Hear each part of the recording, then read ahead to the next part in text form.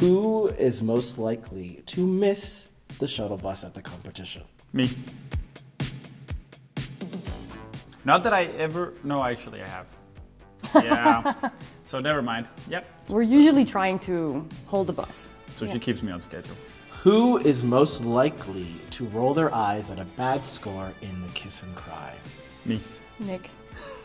I am just known for my dramatic reactions, I guess. I'm working on it. Uh, but yeah, definitely me. I've been told, like, in the past, Nik, kiss and cry moments, like, just, you know. Who is more likely to eat a tub of ice cream in one sitting? Who do you think? Is this is this like a trend of like me the most likely every single time? What did they call it? I, we saw it one time when you eat an entire bag of chips. A By snack, mistake. a snack accident. A snack, a snack accident. And So snackcidents happen with me. Oh yeah. Uh, Who is more likely to fall down on crosscuts?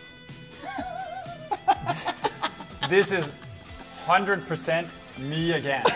He does clip his blades sometimes. I clip my blades on backwards Backward crosscuts when I'm not focused, especially like before 9 a.m. in the morning. It's actually never even happened for you, I think. I, I can't remember in the 10 years we've skated together, or 11 or however many. Last question. Who is more likely to survive a Last of Us type zombie apocalypse? Oh, that would be Oh. Lolo.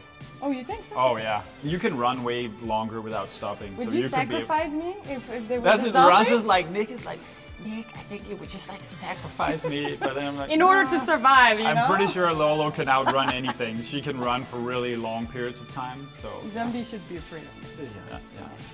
I'm afraid. I afraid think you're gonna you. have to sacrifice him. I'm he's afraid, gonna, he's I'm slow afraid you of down. you sometimes. oh, Asher, over the line.